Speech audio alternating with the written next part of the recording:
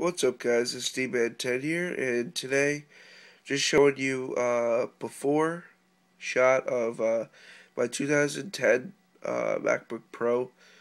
Um, before I put the DDR3 uh, Crucial 8GB RAM uh, um, in my computer here.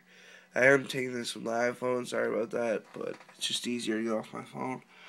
Uh, I got everything closed here and uh, everything should be good here.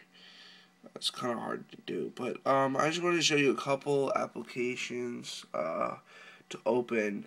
I'm gonna couple do a couple uh, light ones and a couple heavy ones, and what I mean about light and heavy is big programs like Final Cut Pro and iMovie take a little while to open. Then other ones like like the internet browser and other stuff take don't take as much time. So um, first I'm going to start off here with uh, Google Chrome. Just going to click on that once. You got two bounces and it's open. But then once it's open, you click it and I think it just does one bounce. Yeah, so that is Google Chrome. Uh, I'm going to do iTunes, iTunes, two, three. So three bounces on iTunes. Uh, App Store, App Store takes pretty long time. One bounce, and then so let's say that's about three bounces with the internet's ready to load. Uh, now with this, open up some heavy programs like Final Cut Pro. One, two, three, four, five, six, seven, eight, nine, ten. 12, 13, 14, 15, 16, 17, 18, 19, 20, 21, 22, 23, 24, 25, 26, 7. So 27 bounces and a buffer. Uh, obviously, Final Cut Pro just came out, so it's really not meant for my computer, especially with only 4 gigs installed. I mean, it does the job of editing, and it's a great editing tool. Um, just the factor of it takes a long time to export a video. Not as long as iMovie, surprisingly, but uh, yeah. So I'm gonna quit Final Cut Pro here. See, it takes a long time to quit too. It's a lot of things open at once. Uh, but obviously, I do export 720p and 1080p, so uh, now like integrated program like QuickTime. QuickTime's already open, so that's always quick. Uh, now, what I'm going to do now is uh, I'm going to launch a bunch of applications at once. So I'm going to go into Finder, and over here I'm going to go into Applications. And I guess let's just take like the first, say, two rows. So these are pretty, one heavy program and a couple light programs. Just going to hit Enter. Oh, it won't let me do that. Okay.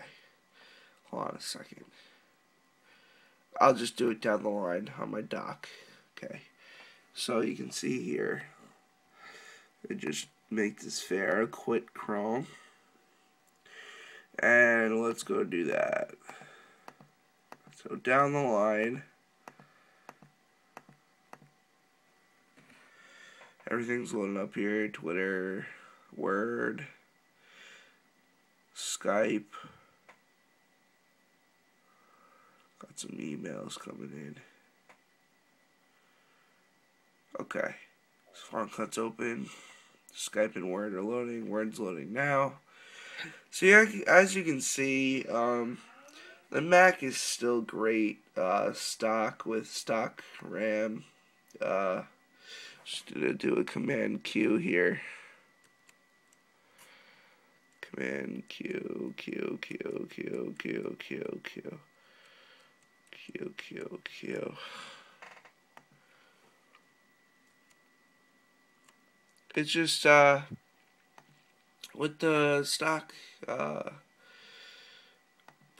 how do I say this? With the stock, uh, build to the computer, it is relatively fast, and it still is blazing fast. I used to have a Windows computer that was terribly slow Like I felt like you could just put a Ferris wheel or not Ferris wheel, a hamster wheel, just have your hamster run on that to make it freaking run. It was terrible.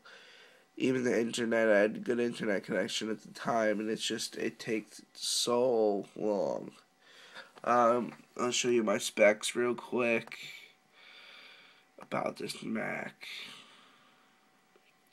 10.7.1 is my firmware version. Uh, focus, focus, there we go.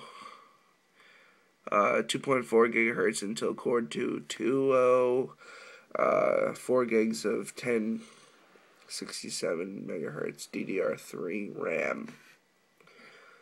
Uh, more info, I guess I can do also. This computer is 2.4 gigahertz Intel Core Duo processor, which I said.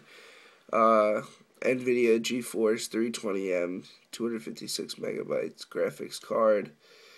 My serial number, so you can steal my shit. That's about it. So, uh, this is the mid 2010 model, by the way. It's a and yeah, so pretty cool stuff. Uh, Hope you guys enjoyed this first part of the video.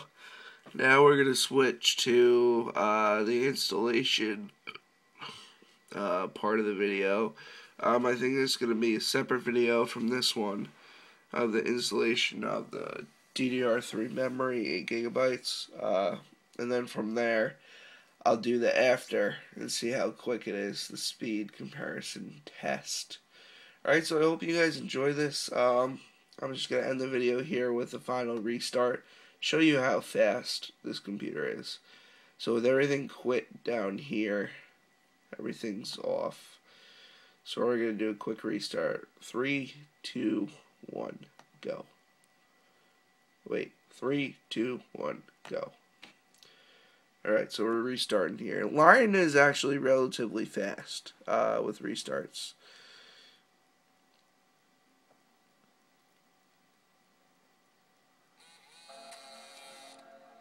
15.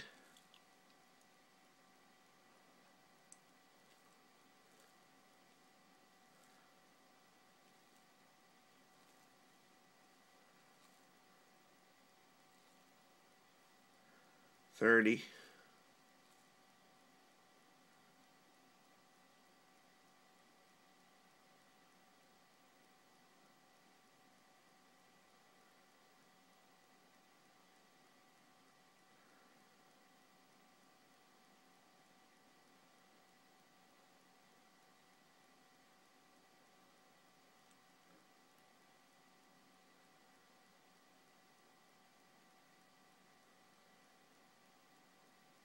Sixty.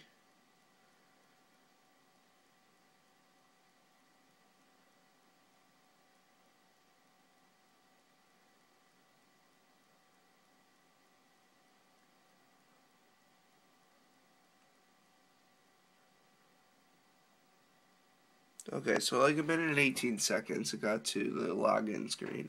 And from obviously the login screen, it's automatically loaded. So that's not too bad. I mean, um, it's obviously going to get a lot better uh, with this new RAM chip. So I'm excited about that. And also, uh, I just wanted to say again, thank you guys uh, for freaking tripling my subscriptions lately.